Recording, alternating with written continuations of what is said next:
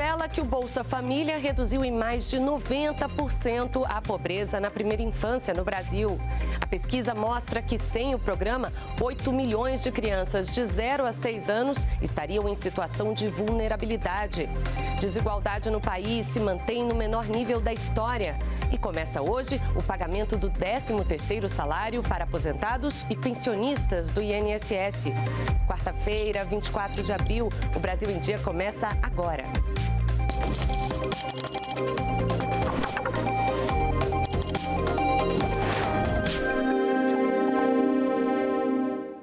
Olá, muito bom dia para você. São nove e meia da manhã. Lembrando que você pode nos acompanhar também ao vivo pelas redes sociais do Canal Gov. A gente abre esta edição do Brasil em Dia com a notícia de que o Bolsa Família conseguiu reduzir em mais de 90% a pobreza na primeira infância. E a gente conversa agora com a diretora de monitoramento e avaliação do Ministério do Desenvolvimento e Assistência Social, Família e Combate à Fome, Joana Costa. Bom dia, diretora. Muito obrigada pela participação no nosso programa. Bom dia, Vanessa. Bom dia a todos que estão nos assistindo. Diretora, os dados são positivos, o resultado desse estudo aí é uma comprovação de que valeu a pena a gente retomar o Bolsa Família com é, o mínimo de 600 reais por família, esses pagamentos extras para crianças, gestantes e puérperas, valeu a pena, diretora? Sem dúvida, acho que esse resultado ele comprova exatamente isso. É... E mais que isso, né, a gente está resgatando um desenho que era um desenho do Bolsa Família, né, dele ter o valor de acordo com a composição familiar. Né? Esse foi o resgate que foi feito com um novo desenho. Então agora a gente tem um desenho que, que entende essa composição da família e que pela primeira vez é, não só tem um adicional por criança, mas tem um adicional específico voltado para a primeira infância. E isso é muito importante quando a gente pensa no Bolsa né, como um, um importante para a gente romper a pobreza intergeracional. Né? Então, a gente tem um benefício específico para a primeira infância, a gente ter condicionalidades, né? tudo isso reforça essa característica importante do Bolsa né, como uma política pública, um instrumento muito importante para a gente romper a pobreza entre as gerações.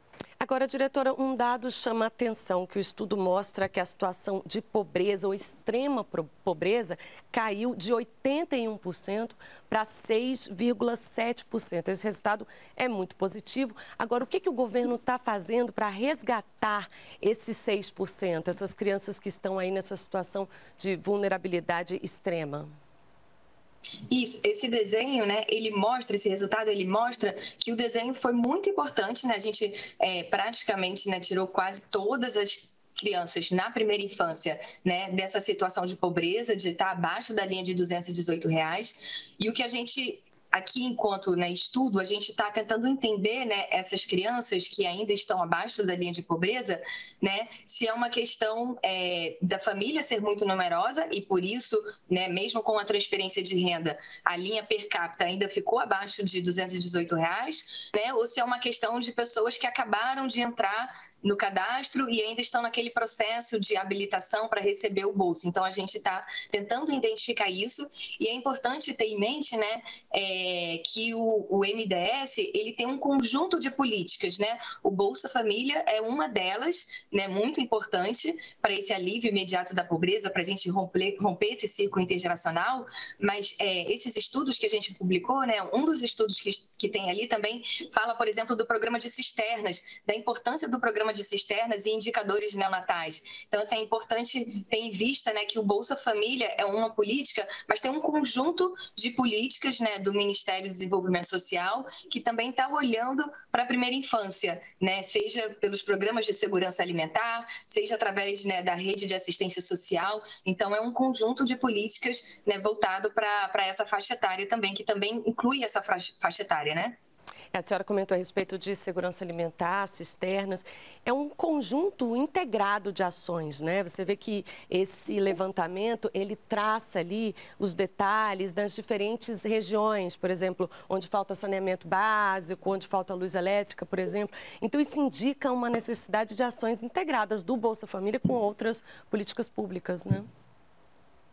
Isso, sem dúvida, Vanessa. É, o cadastro ele é importante porque ele dá visibilidade a outras vulnerabilidades, né? Então essa integração entre políticas, ela é muito facilitada pela presença do cadastro único. Ele permite a gente visibilizar outras vulnerabilidades e aí a gente consegue fazer até uma integração entre políticas nos diferentes níveis de governos. Então o cadastro único hoje em dia ele tem cerca de 40 programas usuários, né? E é muito importante é, esses programas eles acabam, eles ficam integrados porque eles estão ali voltados para o mesmo público. Né? Muitas vezes não só o público do Bolsa Família, mas o público que está ali no cadastro, que é um público vulnerável, né? um público que tem né, renda abaixo de meio salário mínimo per capita, é, é um público que tem essa vulnerabilidade. Então, o cadastro, enquanto essa né, ferramenta, tanto para dar visibilidade quanto para fomentar políticas públicas integradas né, e até nos diferentes níveis de governo, é importantíssimo. É, esse cadastro único ele se mostra uma ferramenta muito importante mesmo. Agora, como que a população pode fazer para melhorar esse cadastro único? Uma família, por exemplo, que deseja ser incluída, como ela deve agir? Ou se eles conhecem alguma pessoa que não está no cadastro único, como que eles podem ajudá-lo a entrar nesse cadastro? É muito importante que as famílias busquem os CRAs é, ou postos de atendimento do cadastro para que elas façam esse cadastro e também para que quem já está cadastrado, né, muito importante também lembrar é, a necessidade de atualizar, pelo menos a cada dois anos. Então, ter um cadastro e ter um cadastro atualizado é muito importante para que a gente tenha políticas públicas mais efetivas para esse público mais vulnerável. Muito bem, eu entrevistei Joana Costa, ela que é diretora de monitoramento e avaliação do Ministério do Desenvolvimento e Assistência Social, Família e Combate à Fome. Diretora, muito obrigada pela participação. Eu aguardo a senhora numa próxima oportunidade. Muito obrigada, Vanessa. Bom dia para você. E olha, dados do IBGE mostraram também que o Bolsa Família foi um dos responsáveis por frear a desigualdade social no país. Veja na reportagem de Luana Karen. Em novembro do ano passado, Andresa perdeu o emprego que tinha em uma escola em Chapuri, no Acre. Com o marido sem renda fixa e tendo de arcar com o aluguel e os cuidados do filho Enzo, de seis anos, ela buscou auxílio no Bolsa Família e conseguiu. Eu busquei o auxílio por conta, por conta do, do, filho, que tem aluguel, tem conta, né? Aí a gente precisa de uma, de uma renda assim fixa, né? O meu marido ele é, ele é autônomo também não, não é autônomo não tem renda fixa né? E, e para pagar o aluguel tem que ter aquele dinheiro todo mês né? A ampliação do Bolsa Família freou o aumento da desigualdade social no país. É o que mostra a pesquisa feita pelo IBGE a proporção de domicílios com algum beneficiário do Bolsa Família saltou de 16,9% em 2022 para 19% em 2023. O programa também teve outro ganho quantitativo, com a oferta de novos benefícios de acordo com a composição familiar, o que fez aumentar o valor médio da bolsa. A pesquisa nacional por amostra de domicílios mostrou que em 2023 as regiões Norte e Nordeste registraram as maiores proporções de domicílios com beneficiários do Bolsa Família. 31,7% dos domicílios no Norte e 35,5% dos domicílios no Nordeste. O programa é apontado como um dos responsáveis pela melhora no índice Gini nessas regiões. O Gini mede o grau de concentração de renda. Quanto mais próximo de um, mais desigual do ponto de vista da renda é uma sociedade.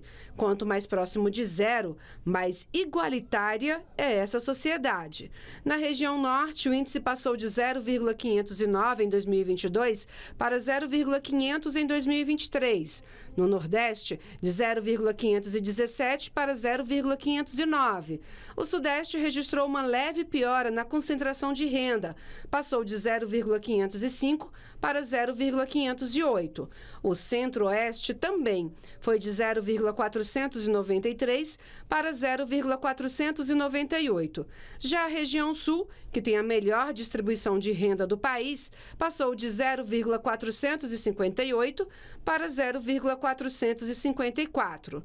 A média nacional manteve-se estável, em 0,518. Exige condicionalidades de educação, de saúde, vacinação, pré-natal, etc., que é muito importante, principalmente que a gente veio de um período de pandemia, onde a questão da vacinação foi colocada em xeque, etc., e o, o, o Bolsa Família ele, ele tem um monitoramento dessas condicionalidades. A concentração de renda ainda é um problema no Brasil. O rendimento médio do 1% da população que está no topo da pirâmide é 39 vezes maior que o rendimento médio dos que estão entre os 40% de menor renda. Mas a maior taxa de crescimento no rendimento médio foi para os que estão entre os 5% de menor renda. A variação no rendimento médio deste grupo foi de 38,5% em 2023, comparado com o ano anterior. Eu diria que é um crescimento para todos. Se você pegar de 5% e 5%, todos os, os 20 tiveram crescimento de dois dígitos em termos reais, então um grande crescimento de renda, surpreendentemente alto. É, é, é, é, é, verdade que a desigualdade permaneceu parada no alto nível, mas é o menor nível da série histórica, preciso dizer isso. A desigualdade nunca foi menor do que ela é hoje. Pois é, vamos aproveitar que falamos da redução da desigualdade para dar uma olhada nos dados disponíveis no Comunica BR a plataforma que mostra com transparência as entregas do governo federal. A gente vê aqui no telão algumas ações que chegaram até a cidade de Chapuri, no Acre. Olha aí, uma população de pouco mais de 18 mil habitantes, essa cidade que fica a 190 quilômetros da capital do Acre, Rio Branco. Então você vê que Chapuri tem essa população de 18.243 habitantes. Lá teve a assinatura de cinco contratos de empréstimos para financiar a produção agropecuária, com investimentos de 1 milhão e 600 mil reais. A cidade teve ainda 14 novos contratos do Pronaf assinados para financiar a agricultura familiar em 2024, ao custo aí de 1 milhão e 200 mil reais. Você sabe que para saber mais sobre o seu município ou alguma outra localidade, basta acessar gov.br barra comunicabr. E voltando a falar sobre a retomada do desenvolvimento no país, foi lançado esta semana o programa Acredita, que tem o objetivo de incentivar investimentos, criar empregos e melhorar o desenvolvimento econômico do país. Voltado para empreendedores individuais, além de micro e pequenas empresas, o programa é focado no crédito e na renegociação de dívidas. O Acredita vai oferecer crédito com taxas de juros diferenciadas aos pequenos empreendedores. Ele é dividido em quatro eixos. O segundo é o Acredita no seu negócio, que traz os seguintes benefícios: o Desenrola Pequenos Negócios, programa voltado para a renegociação de dívidas bancárias dos empreendedores individuais, os MEIs, micro e pequenas empresas com faturamento bruto anual de até 4,8 milhões de reais e que têm dívidas bancárias. Terá descontos de 40% a 90% todo mundo que for pessoa jurídica, do Simples ou MEIS, é, que estiverem com problema em instituição bancária, que estiverem com dívidas, vão poder fazer o desenrola, digita o seu CNPJ, igual digitava no CPF, e vai poder ter as alternativas que os bancos vão dar com descontos que vão variar. Se seguir o mesmo roteiro da pessoa física, dão descontos de 40% até 90% no pico.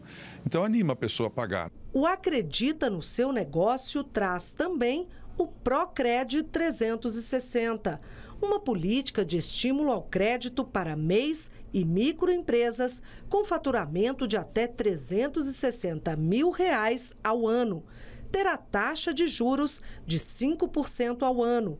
Empresas lideradas por mulheres podem obter empréstimos maiores, de até 50% do faturamento do ano anterior. Um MEI é, que seja masculino ou um microempresário que seja masculino, o empréstimo é de 30% do que ele faturou no ano passado. Se for mulher, a, a dirigente ou a dona, é 50% do valor que ela faturou.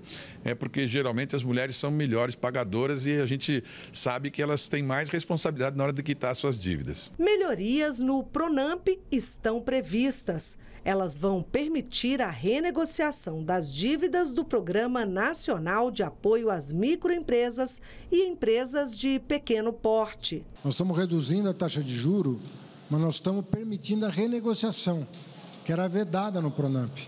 Então, está muita gente inadimplente, sem conseguir renegociar, porque ou a pessoa paga o que deve, ou ela fica no cadastro negativada. Além disso, o Sebrae vai expandir as linhas de crédito no âmbito do Fundo de Aval para Micro e Pequena Empresa, o FAMP.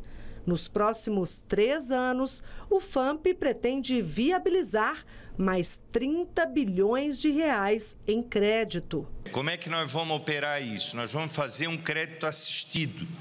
O Sebrae tem uma capilaridade no Brasil inteiro, com todos os estados envolvidos, com todas as portas, com programas como Cidade Empreendedora, que nos coloca praticamente em todos os municípios. Nós vamos pegar na mão do, do empreendedor, do MEI, da micro, da pequena empresa e levá-lo até a operação de crédito. A publicitária Raíssa Lauane ainda não trabalhou com crédito, mas cogita um financiamento para investimento tudo bem pensado e de forma organizada. Para ela, agora pode ser a hora. Dentro, inclusive, do planejamento, que é isso, de progressão, de crescimento da empresa, tem que, tá, tem que chegar esse momento. Esse momento de entender, ah, tá tudo bom, tá tudo ótimo, mas e se não surgir esse cliente que eu estou esperando, né? Que eu tenho essa sorte, ah, parecer um cliente bom, mas e no mês que também não, não tem, né? Somos autônomos, a maioria dos microempreendedores. Então, é, é uma garantia, é talvez um passo a mais, é um, é um impulsionamento. Veja a seguir, começa hoje o pagamento do 13º salário do INSS e ainda segurança reforçada no concurso público unificado para evitar fraudes. A gente volta já já.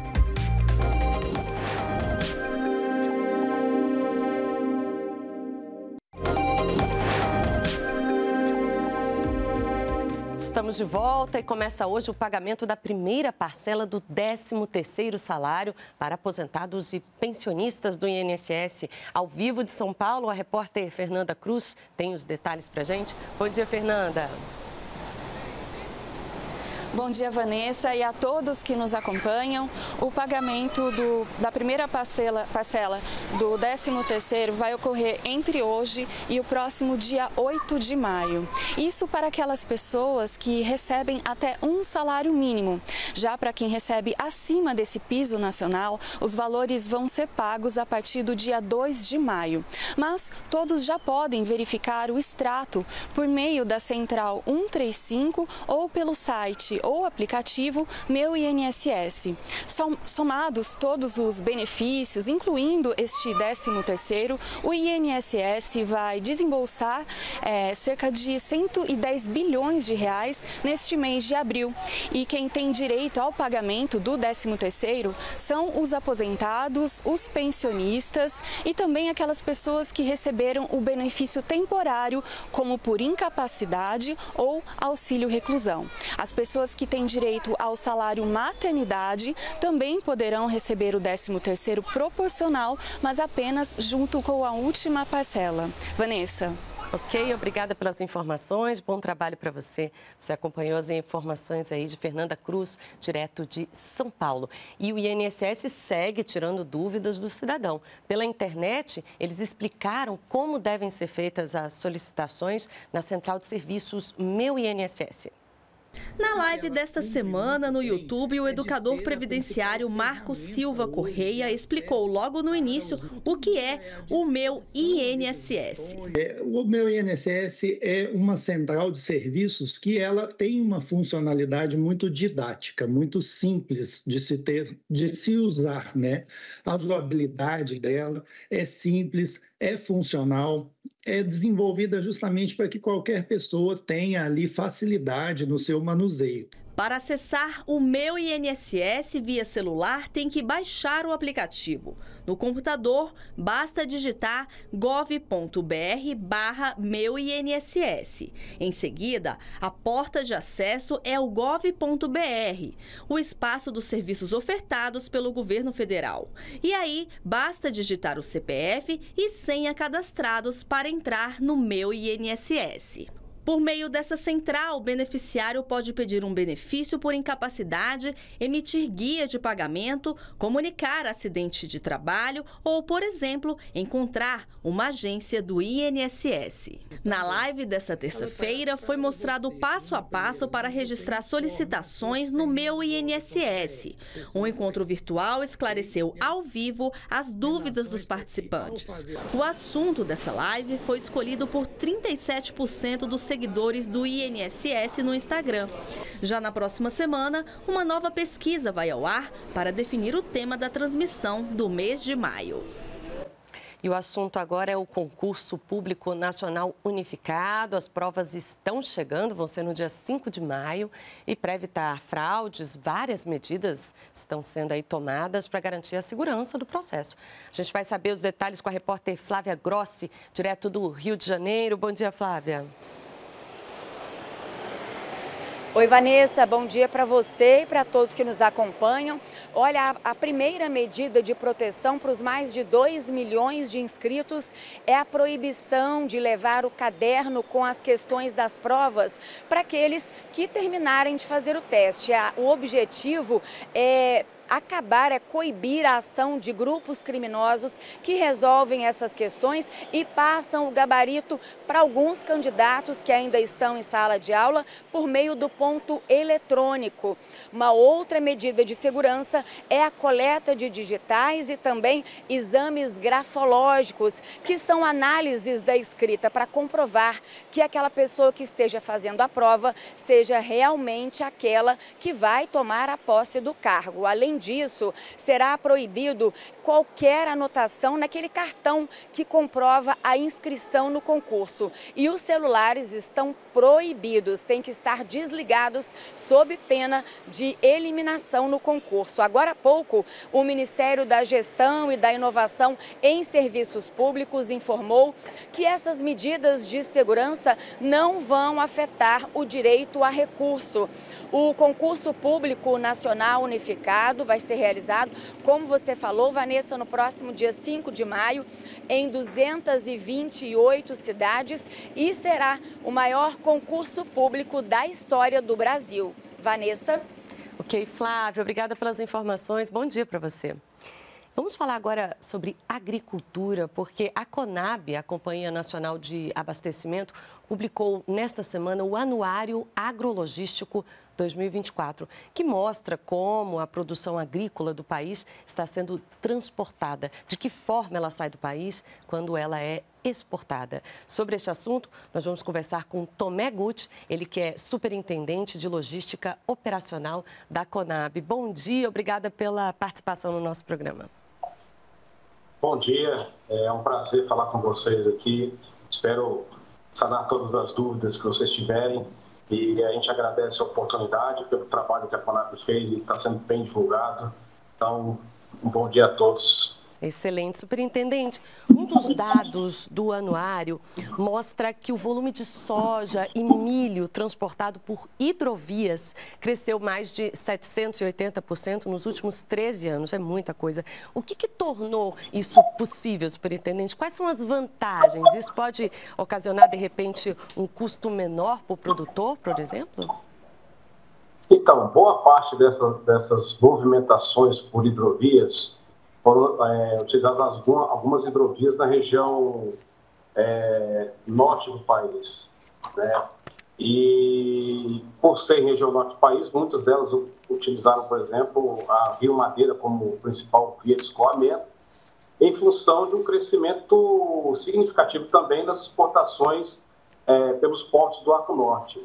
Então, essa movimentação é, é, é bimodal entre rodovia e hidrovia é, fez com que houvesse, houvesse esse crescimento. Obviamente, com a utilização desse modal, alguns investimentos foram realizados. Óbvio que precisa ter maiores investimentos no, no, no, no setor, né? E, e, e, com isso você dinamizar ainda mais, mas muito provavelmente porque esse escoamento para a região norte do país é, teve também um significativo aumento aí. É, é um, um, um, modal de escoamento mais barato, em que pese seja um pouco mais lento do que uma rodovia em termos de velocidade de entrega, mas você consegue transportar uma quantidade bem maior de grãos através das chatas, né? Uma, uma embarcação puxando quatro chatas, por exemplo, você carrega aí 4 mil toneladas, mais ou menos, que daria em torno de né, 100 é, caminhões de, de 40 toneladas. Então, né, é, um, é um volume significativo e isso diminui, inclusive, a questão de custo. Agora, isso significa que o crescimento do modal hidroviário vai deixar de lado outras formas de transporte, como caminhões, trens? Na verdade, não. Eu acho que ele vai ser um complementar, né? Então, assim, é, para algum, que você não tem hidrovias em todos os locais, né? Então, você tem hidrovias em algumas regiões do Brasil, hidrovias que você ou tem, não vai chamando-se de hidrovias atualmente, a gente pode chamar de vias economicamente navegáveis, porque ainda precisa de algumas estruturações, né, questão de dragagem, cruzas, ah, terminais de transbordo. Mas o que a gente está percebendo é que boa parte dessa movimentação ela, ela entra num sistema de multimodalidade, ou seja, um pedaço do transporte vai é, da fazenda até um, um determinado é, porto hidroviário, faz esse transbordo e você continua o caminho por hidrovias. Então, assim, isso de uma certa forma é, diminui o, o custo do, do, da logística para escoamento melhora a questão do preço interno, obviamente, né, porque você tem um menor peso de logística sobre os preços atuais, e, e aí você tem um, um, sistema mais eficiente de transporte. Então, eh, não vai substituir, vai ser um. Eu entendo que vai ser algo mais complementar ao processo de movimentação de grãos no Brasil. Agora, uma medida que impulsionou esses resultados, sobretudo no, no modal hidroviário, foi a lei dos portos, né? O senhor podia falar um pouco, explicar como essa lei é, fez, é, criou esses efeitos? O que, que, acontece? Essa lei, publicada em 2013, ela facilitou é, as concessões de terminais de uso privado, né? ou seja, maior é, incentivo à iniciativa privada a fazer investimentos em terminais portu portuários em portos da região, sobretudo da região norte do país, né? onde você teve um, um maior crescimento em termos de exportação nesses últimos anos, é, é, comparativamente com outros portos, em termos de crescimento, os portos do Arco Norte cresceram significativamente. Né? Então, você pega aí portos como Barcarena, Santarém, Itacoatiara, ah, você tem portos como Itaqui, que é um porto de, de grande importância né? O nosso anuário, inclusive, ele apresenta que toda a, a exportação realizada pelo, pelo Porto de Itaqui, ele, é, ela foi feita é, pelo é, a exportação realizada para os produtores da região do Mato Piba, sobretudo São Luís, sobretudo Maranhão, Piauí, Tocantins, foi, foi feita pelo Porto de Itaqui, né? Então, praticamente nada foi movimentado para os portos dos distantes, por exemplo. Então, com esse crescimento da movimentação desses portos, é, isso deu um incentivo a todo o sistema. Né? Então, havendo a necessidade, é uma região norte, a região norte do país é uma região que tem uma quantidade grande de, de, de, de hidrovias, de, de rios que podem ser navegáveis, e isso permitiu com que você tivesse um, uma melhoria desse transporte, uma maior utilização desse transporte, dada a necessidade para chegar nesses portos. E, e, e, essa lei dos portos ela foi fundamental. Para você ter uma ideia, a, a nossa pesquisa aqui, não no, no, no mas a gente entrando em detalhes, observamos que é, o número de concessões, é, de pedido de concessão de terminal de uso privado, é, na, até, até antes de 2013, era uma média de 3, 4, 5 por ano, mais ou menos, que se fazia de solicitações para montar em terminais privados dos portos brasileiros. Em 2014, na sequência, pulou para 75. Né? Aí depois se ajustou, mas ficou numa média entre 19 e 20 é, pedidos, né, é, solicitações de concessões é, de empresas privadas para utilizar terminais de uso privado na, nas, nas, nas, nossos postos brasileiros. Então, é, isso, consequentemente, você traz maior, maior, maior investimento, né, você precisa ter é, é, toda uma estrutura para atender essa demanda e, com, e, também tem um detalhe, né, o Brasil teve um crescimento significativo em termos de produção agrícola, sobretudo na produção de grãos. É, se a gente pegar o histórico, é, ano passado nós escolhemos mais de 300 milhões de toneladas entre é, soja e milho, então, nós temos, e, e a nossa exportação entre soja, milho e farelo foi de 180 milhões de toneladas, ou seja, uma exportação recorde. Isso demanda de movimentação, demanda estrutura, né? e ela só foi possível, né, essa movimentação das exportações, mediante esse crescimento estrutural no Brasil, com uma medida simples que, que foi a questão da discussão e, a, a regulamentação da questão da lei dos portos, que facilitou é, a entrada da iniciativa privada na, na, no uso desses, desses terminais portuários. Agora, superintendente, em relação à sustentabilidade, é uma preocupação é, de todos. Esse transporte hidroviário, ele traz ganhos ambientais? É, você diminui a quantidade de CO2, né? Porque, veja bem, o, o, o que eu coloquei, você faz um transbordo é, de 80 caminhões, 100 caminhões e, e segue é, rio abaixo, aí, ou rio acima, depende da, da, da região. Né? Mas vamos colocar, segue rio acima e você tem a menor quantidade de óleo diesel que se usa, a menor quantidade de CO2 que é emitido pelos caminhões. Então, você, de uma certa maneira, você, assim, o Brasil, de uma certa maneira, tem uma movimentação de caminhões em trechos mais curtos, né? quando você faz a, a, a multimodalidade, a gente consegue atingir é, essa, essa movimentação em trechos mais curtos, ou seja, menos desgaste de pneu. Então, menos desgaste de pneu, você tem menos utilização de, de, de pneu ou de, de produtos é, à base de petróleo para fazer a, a manutenção, menos custo com manutenção. Então, tudo isso você vai diminuindo esse impacto sobre o, o, o, a movimentação rodoviária e você tem no, no, decorrer do processo, você tem uma, uma questão mais ecológica, digamos assim.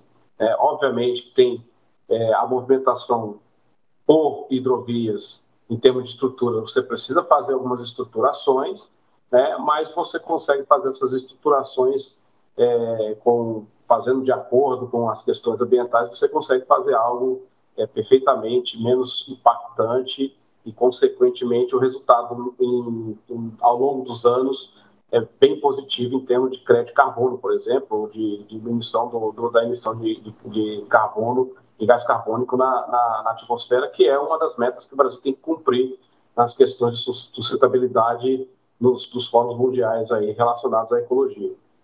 Excelente. Eu conversei com o Tomé Gucci, ele que é superintendente de logística operacional da Conab. Muito obrigada pela entrevista. Eu aguardo o senhor numa próxima oportunidade. Muito obrigado, estamos aqui à disposição. Valeu. Novidades para a indústria brasileira. O vice-presidente ministro do Desenvolvimento, Indústria, Comércio e Serviços anunciou novas medidas para zerar os impostos de importação de 225 máquinas e de 19 categorias de produtos de tecnologia da informação. Com isso, o governo espera acelerar a aposentadoria de equipamentos industriais antigos e com baixo desempenho e incentivar a renovação do parque industrial brasileiro, que pode ser aí mais produtivo e ambientalmente sustentável. Vem ao encontro da neoindustrialização, ou seja, eh, ajudar a renovar máquinas e equipamentos, a modernizar o parque industrial e melhorar produtividade. Então, qual é o estímulo? É redução de imposto de renda de pessoa jurídica, contribuição social sobre o lucro líquido, para você trocar máquinas e equipamentos e ter melhor produtividade. Então, ao invés de depreciar uma máquina em 15 anos, eu deprecio em dois anos. Eu dou um estímulo de redução é, tributária para a modernização do parque industrial brasileiro. E a Receita Federal registrou a maior arrecadação para o mês de março desde o início da série histórica. Foram mais de 190 bilhões de reais. Segundo a Receita, o bom desempenho do emprego e o aumento da massa salarial, além da fiscalização, foram fatores que contribuíram para o resultado recorde. A massa salarial está empurrando para cima o rendimento, o, a arrecadação das, da contribuição previdenciária e do fonte de trabalho. Se vocês virem ali o crescimento do fonte de trabalho e da, e da contribuição previdenciária, todos eles são explicados pelo crescimento da massa salarial. O imposto de importação, embora nós tivemos uma redução é, em dólar do volume das importações, ele teve crescimento. Por que isso? Porque a alíquota média dos produtos importados no período é superior à alíquota média dos produtos importados no ano passado. Então tivemos crescimento, apesar do volume das importações ser menor, nós tivemos crescimento na arrecadação. É, e o outro fator, o, o último fator, quando a gente olha para 2023, é a remuneração dos combustíveis. Então, o setor de combustíveis está apresentando crescimento. O presidente Lula e o presidente do Banco de Desenvolvimento da África discutiram ações em áreas como agricultura, combate à fome, saúde e desenvolvimento econômico. Entre as novas ideias discutidas nesse encontro, um complexo farmacêutico de alta capacidade para a produção de vacinas e remédios para ambos os continentes. I talked with the president about several issues. The first is to thank the president about the great support of Brazil to the African Development Bank. We talked about different things. First is in the terms of agriculture. Um, Africa is doing everything it needs to feed itself. And to do that, we need a lot of technologies. And Brazil is the global powerhouse when it comes to agriculture. We talked about the importance of health. And so in the discussion, we talked about pharmaceuticals, and how Brazil can help Africa in pharmaceutical industry and how two of your institutions, foundations, uh, Cruz and Botanta, uh, can actually help in terms of access to pharmaceutical technologies, in terms of manufacturing capacity, but also the idea that we might consider having a regional pharmaceutical manufacturing plant that would involve Brazil and the African Development Bank, in which the Brazilian agencies, the two foundations, will play a role uh, in Africa. Em café da manhã com jornalistas, o presidente Lula falou sobre investimentos, economia, relação com o Congresso Nacional e política externa. Vamos ver.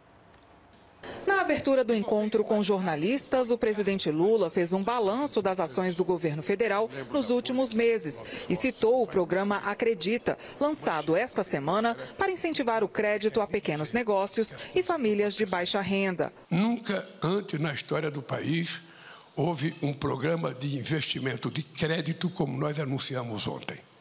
Crédito para todo mundo.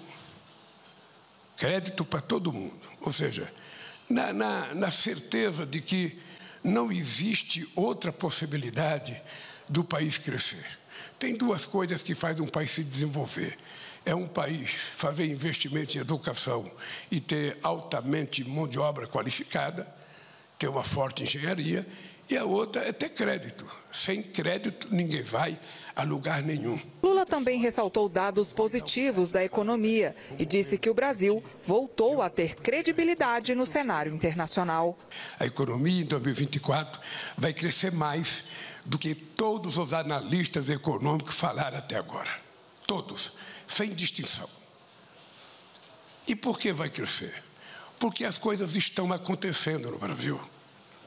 Eu posso desafiar vocês a estudarem o que aconteceu no Brasil nesses últimos 14 meses e vocês vão constatar de que nunca antes na história do Brasil houve uma quantidade de políticas de inclusão social colocada em prática, algumas que nós já tínhamos feito e que tinham desaparecido, que estão voltando agora. E outras que começam a votar porque vocês sabem, não sei se vocês já alugaram apartamento para alguém ou se vocês já pagaram aluguel, vocês sabem que quando a gente entra numa casa para arrumar, a gente não consegue arrumá-la no primeiro dia. E nós encontramos esse país muito desarrumado. Respondendo a perguntas de jornalistas, o presidente falou sobre articulação política e negou qualquer divergência com o Congresso Nacional. De todos os processos que o governo mandou para o Congresso Nacional, todos foram aprovados. Todos. Então, qual é a briga com o Congresso? Ou seja, a briga é o normal da divergência política no Congresso Nacional, que tem vários partidos políticos, que tem programas diferentes, e a coisa é mais normal que quando você dê entrada com um projeto de lei, com a medida provisória, tenha gente que queira incluir alguma coisa ou tirar alguma coisa. Mas isso é normal. Se você não gostar de fazer isso, não faça política. Então, eu estou convencido de que nós estamos numa situação, eu diria, de muita tranquilidade na relação com o Congresso Nacional. Eu convido vocês a ficarem atentos para ver o que, que vai acontecer nas coisas que nós temos que votar daqui para frente. Todas as coisas vão ser aprovadas e todas as coisas serão acordadas na medida do possível com a presença do líder sabe, do governo na Câmara, do líder do governo no Senado, no Congresso, com os ministros que são os ministros responsáveis pela matéria, com a participação, obviamente, da Casa Civil e do ministro da Organização Política. Afirmou ainda que não existe previsão de reforma ministerial no governo. Eu não conheço um técnico que ele anuncia, quando o time entra em campo, o que, que ele vai tirar. Você não vê. Nem o técnico do Palmeiras, nem o Tite anuncia. Escala o time do Flamengo e fala, mas eu vou tirar fulano, Betão. Não. O time entra para jogar. E o time está jogando, e está jogando do jeito que eu acho que deve jogar. Portanto, não existe nenhuma previsão de reforma ministerial na minha cabeça nesse instante. A única coisa que existe na minha cabeça é que esse país tem que dar certo, porque o povo brasileiro precisa disso. Lula também falou sobre as eleições na Venezuela, marcadas para o mês de julho. Disse esperar que o pleito seja acompanhado por outros países e que o Brasil vai participar se for convidado. Sobre as viagens à Colômbia na semana passada e ao Chile, prevista para o mês que vem, afirmou que quer estreitar as relações diplomáticas e comerciais com a América do Sul e ressaltou que o Brasil é um dos países mais seguros para investimento estrangeiro. Esse país é um país muito seguro. O que nós precisamos é que as pessoas, sabe, preocupadas com o mercado, precisam ter responsabilidade com esse país. Esse país não pode ficar todo dia tomando susto de que o mercado não gostou disso não gostou daquilo. O mercado está ganhando é muito dinheiro com essa taxa de juros. Que tem que ficar claro para a sociedade. E o presidente do Banco Central tem que saber que quem perde dinheiro com essa taxa de juro alta é o povo brasileiro. São os empresários brasileiros que não conseguem dinheiro para investir. É isso que está em jogo. Por fim, Lula reiterou que a política de habitação é uma prioridade do governo e que a equipe econômica estuda a possibilidade de um programa destinado ao financiamento de reforma de casas populares. Vamos anunciar mais coisas. Eu estou trabalhando na minha cabeça, já falei com a Haddad, que a gente tem uma política de financiamento de reforma de casa. Está cheio de cara que quer fazer um banheiro. Está cheio de cara que quer fazer uma garagem. Está cheio de pessoas que querem fazer mais um quartinho para o filho. Então nós temos que criar condições dessas pessoas ter acesso ao financiamento. 20 mil reais, 10 mil reais, 15 mil reais. Vamos colocar esse dinheiro para circular. Quanto mais o dinheiro estiver circulando na mão do povo, mais emprego a gente vai ter, mais salário a gente vai ter e mais crescimento vai acontecer no PIB brasileiro. Veja no próximo bloco, lista da Bolsa Pódio contempla 312 atletas e inclui surdos e guias. E cresceu o número de crianças que tomaram a vacina contra a paralisia infantil no ano passado. A gente volta em instantes.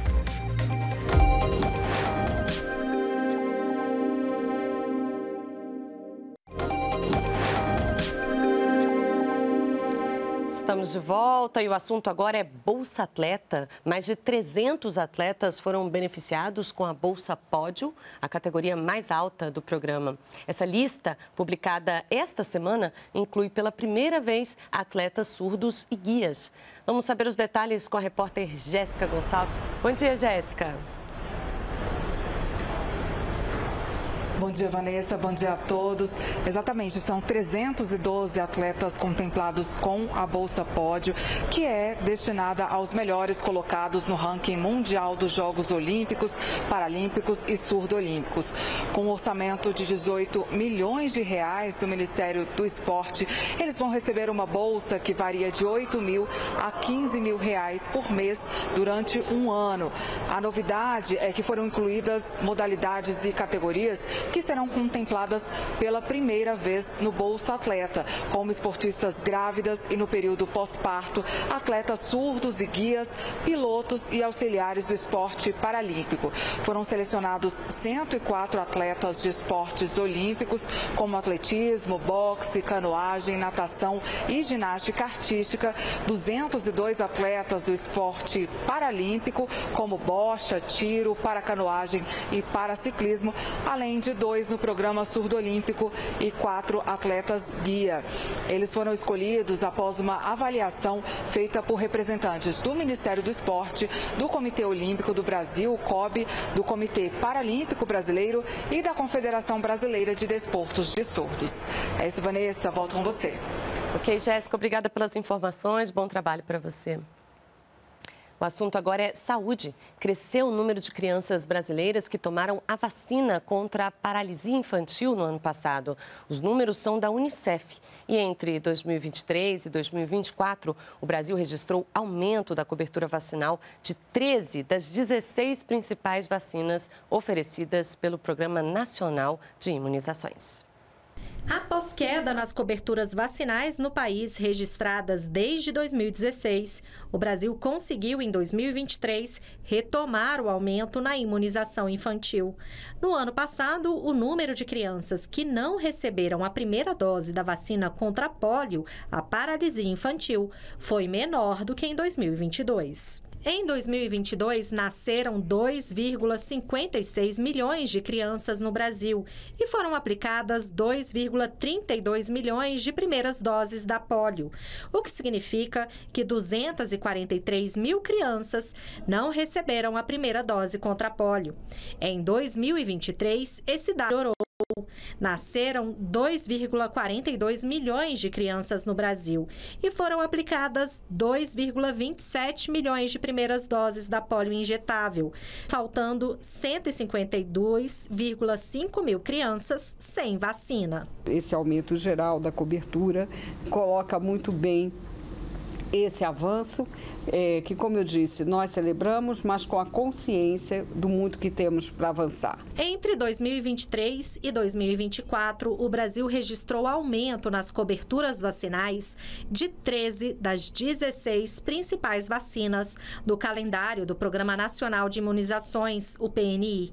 Entre as vacinas que apresentaram recuperação na cobertura estão poliomielite, pentavalente, rotavírus, hepatite A, febre amarela, meningocócica C, pneumocócica, tríplice viral e tríplice bacteriana. Nos 13 imunizantes que apresentaram recuperação, a média de alta foi de 7,1 pontos percentuais, sendo que nacionalmente a que mais cresceu em cobertura foi o reforço da tríplice bacteriana, com 9,23 pontos, passando de 67,4% para 76,7% de cobertura vacinal de fato estamos vivendo uma virada, né? Uma virada que foi o termo usado aqui, uma virada na direção de alcançarmos as coberturas vacinais necessárias para a proteção de nossas crianças, da nossa sociedade. Em 2023, mais de 6 bilhões e meio de reais foram investidos na compra de imunizantes. Em 2024, a previsão é que esses recursos alcancem mais de 10 bilhões de reais. Exige-se um esforço coletivo Né? Exige-se que a vacinação conte com o apoio de outros setores, como, por exemplo, da educação, que já está acontecendo. A estratégia vacinação na escola já está promovendo essa intersetorialidade da vacinação. Uma recomendação também que o Unicef faz que outras políticas públicas, por exemplo, assistência social, tão importante, tão próxima das famílias vulneráveis, que ela também se engaje no movimento da imunização, para conseguir chegar naquelas crianças mais mais vulneráveis, naquelas famílias mais vulneráveis. É, e ainda sobre saúde, motoristas das categorias C, D e E têm até o dia 30 de abril para fazer o exame toxicológico. Quem perder o prazo poderá pagar multas e ter pontos na Carteira Nacional de Habilitação. O prazo para regularização do exame toxicológico do primeiro grupo de motoristas de categoria C, D e E, com a carteira de habilitação com vencimento entre janeiro e junho, terminou em 31 de março. Tiago, que faz parte desse grupo de condutores, já fez o exame porque a medida é importante. Além da lei, você está praticando a direção defensiva você está se, res, se resguardando de qualquer acidente, né? Sobre efeito de álcool, droga. E até bom a importância da, da, da, da, exigência das empresas, né? Que isso daí é, é, reduz muito o acidente nas estradas, né? Mas diferente de Tiago, quase 3 milhões e meio de condutores em situação irregular já foram notificados pela Secretaria Nacional de Trânsito, a Senatran. Por isso, quem ainda não fez o exame tem a chance de aproveitar a prorrogação do prazo que agora vai até o dia 30 de abril.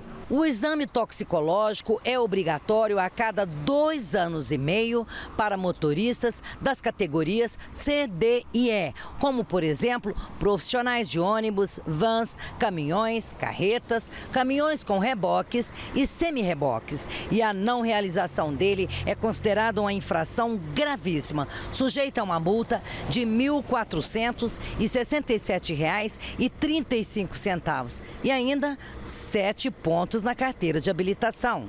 O exame é feito nos laboratórios credenciados pelo Senatran e o valor pode variar de acordo com a região, custando em média 135 reais. Os sistemas eletrônicos dos Detrans estaduais e do Distrito Federal são responsáveis por verificar o cumprimento da medida, podendo aplicar penalidades após o término do período adicional. Parece que as pessoas de fato estão deixando para a última hora isso é um dado importante, por isso que a gente está intensificando as notificações via CDT, que é a carteira digital de trânsito, é, por e-mail, é, intensificando o contato com a imprensa para que isso chegue ao maior número de pessoas é, possível. Mas a gente sabe que esse é um comportamento que aconteceu da última vez e que é, provavelmente vai acontecer agora também. As pessoas deixam para a última semana. A gente já está já tá fazendo uma notificação do final do prazo para evitar que seja necessária a, a notificação é, da multa que será feita pelos Detrans. Os motoristas têm sido orientados por meio de campanhas educativas e alertas emitidos via carteira digital de trânsito para que façam o teste, que é bem simples. Qualquer cidadão pode verificar é, essa, esse, esse, credenciamento né, no próprio site da Senatran e, e, normalmente esses laboratórios têm postos de coleta em convênio com outros laboratórios de redes né, é, é, por todo o país. Então, é, há, há, um alcance fácil é, para fazer esse exame, esse exame toxicológico Hoje teve Bom Dia Ministra aqui no Canal Gov com a ministra da Cultura Margarete Menezes e a Karine Mello, apresentadora do programa, está aqui com a gente para trazer os destaques do Bom Dia Ministra de hoje. Bom dia, Karine. Oi, Vanessa. Bom dia para você e para quem acompanha o Brasil em Dia aqui no Canal Gov. Vanessa, a conversa foi ótima hoje com a ministra. E você sabe que agora, em novembro, o Brasil cedia o G20, encontro das 20 maiores economias do mundo. E aí é claro que a cultura também está nesse debate do G20 e o Brasil, Vanessa, inclusive inspira muitos países com pontos de cultura, tem vários projetos brasileiros que já estão sendo replicados aí pelo mundo. Então, até o G20, o Brasil vai ter reuniões no Rio Grande do Sul, em Brasília e Salvador para tratar da questão da cultura e esse foi um dos assuntos trazidos pela ministra Margarete Menezes. Mas outra coisa que ela disse, Vanessa, super interessante, que a gente nem imagina, é que no Brasil, a cada 100 reais investidos pela União, só 57 centavos vão para a cultura. Apesar desse valor ainda ser um valor pequeno, como destacou a ministra, ela disse que olha o quanto a gente consegue fazer ainda em cultura, mesmo com o valor reduzido. Então, o que ela disse? Ela falou assim, é uma cadeia toda que é movimentada. Quando um artista chega a algum lugar ele movimenta todo o setor de economia, movimenta hotéis, movimenta restaurantes. Então, ela estava contando sobre isso, sobre a importância. Né? Imagina se o recurso ainda fosse mais alto ainda. Contou aí de toda a reestruturação na área da cultura. A gente ficou vários anos no Brasil sem ter Ministério da Cultura. No último mandato estávamos só com uma secretaria, ela estava falando dessa reestruturação e de como o Ministério já está sendo reconstruído e como essas políticas já estão fazendo diferença na vida das pessoas. Olha, a ministra também falou sobre a execução da Política Nacional de Cultura dentro da Lei Aldir Blanc, sobre economia criativa e do aumento das ações culturais no país. Vamos ver. Estamos começando já com duas ações bem importantes de fomento dirigido ao setor, que são, foram 500 milhões no começo do ano, né? 380 milhões para produção nacional com colaboração internacional e mais 180 milhões para produção nacional.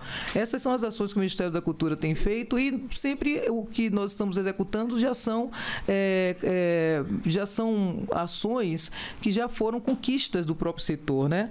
Nós encontramos um setor que estava totalmente é, ferido pela, pelo, pelo processo que foi o ano passado de desmontagem, né, de desmonte do, do da, da, cultura, da área da cultura.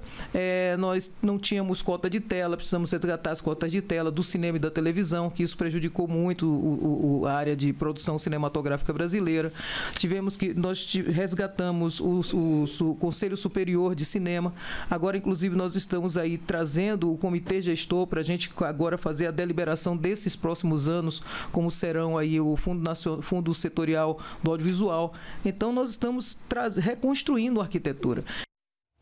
Outro assunto que Margarete Menezes comentou no Bom Dia Ministra, Vanessa, foi sobre o programa Cultura Viva. É um projeto que existe há 20 anos, que é repercutido em outros países, mas que tem o grande desafio para ser implementado como um programa de Estado. Vamos ver o que ela disse.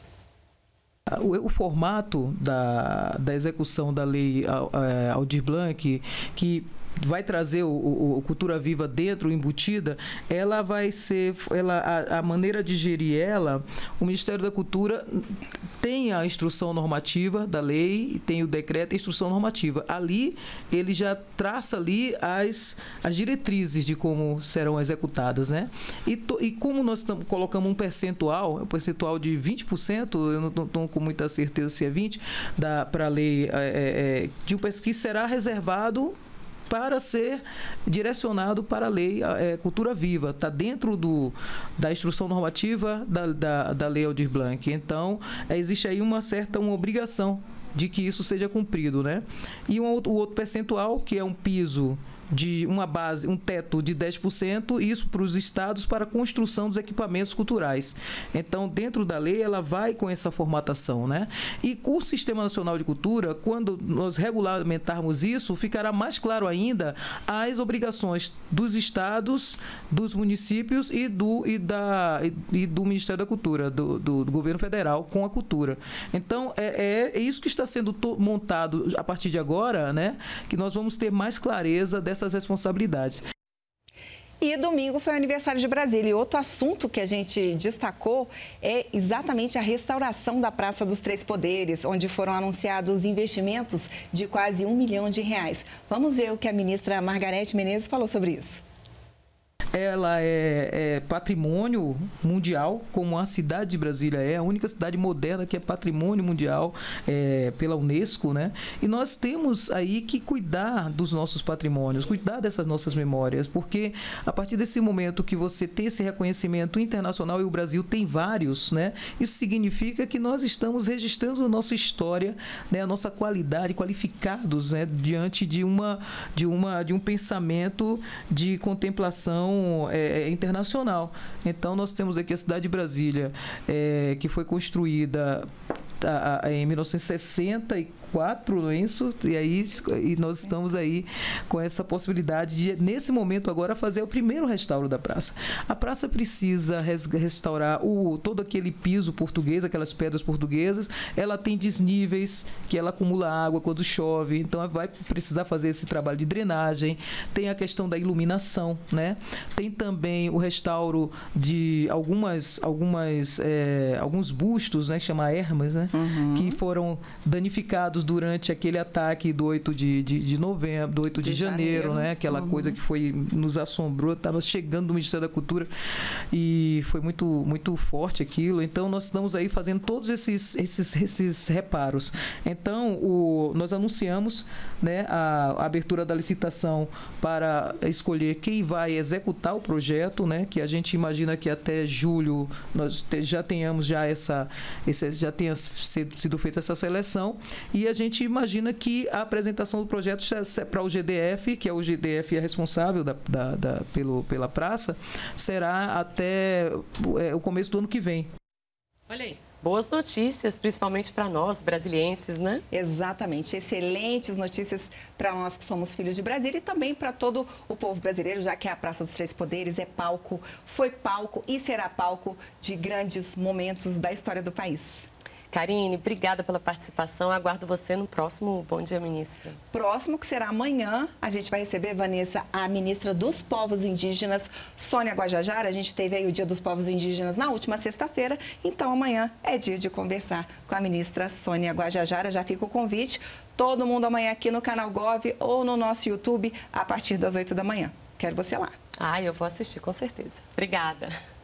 E como a Karine falou, a ministra falou, inclusive, sobre essa questão do patrimônio, da restauração da Praça dos Três Poderes, ontem, no programa A Voz do Brasil, o presidente do IFAM falou também sobre essa restauração. Ele explicou como vai funcionar o processo.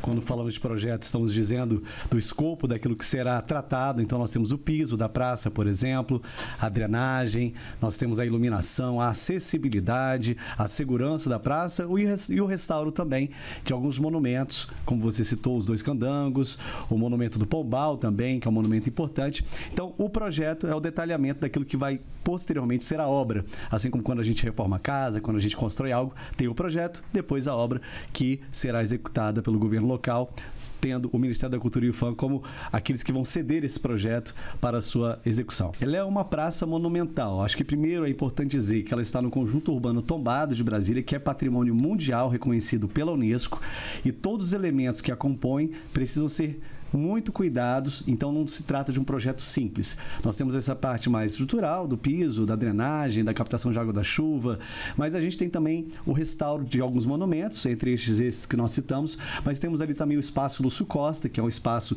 que abriga a maquete de Brasília. A gente tem o Museu da Cidade, que fica ali embaixo também, a estrutura hoje está bastante danificada. Nós temos alguns bustos, algumas homenagens ali como a JK, Tiradentes, entre outras figuras da história do Brasil. Então a praça, a Estátua da Justiça Justiça, também é importante lembrar, que foi danificada no 8 de janeiro. É uma praça que está cheia de símbolos, símbolos da democracia, símbolos da República, símbolos que homenageiam a história do Brasil. Nós temos agora essa fase, que é a contratação do projeto.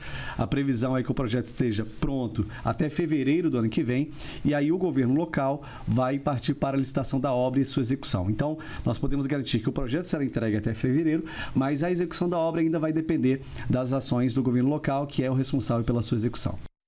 É, o Leandro Graça também falou sobre os projetos de preservação do patrimônio histórico e artístico nacional que serão financiados com recursos do novo PAC. Nós temos a linha do Parque Seleções, que são 105 propostas que nós escolhemos no montante de mais de 700 encaminhadas pelos municípios, pelos estados, agradecendo aqui as prefeituras, os governos estaduais que se envolveram. A gente teve um trabalho árduo para escolher quem entraria nesse escopo, né, nesse conjunto de obras.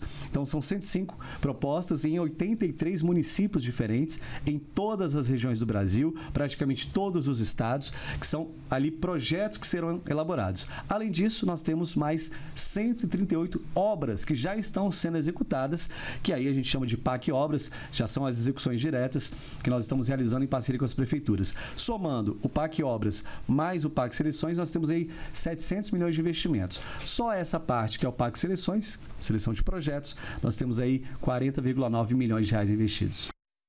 É isso aí, o Brasil em Dia fica por aqui, mas o canal Gov segue com a programação, acompanhando todas as ações do governo federal, com eventos ao vivo, dicas e serviços para você, cidadão.